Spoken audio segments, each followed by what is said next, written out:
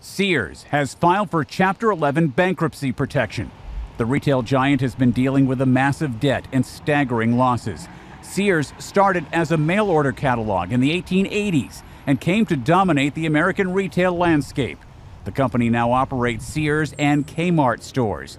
The bankruptcy filing is expected to affect tens of thousands of workers as well as landlords. Ed Donahue, The Associated Press.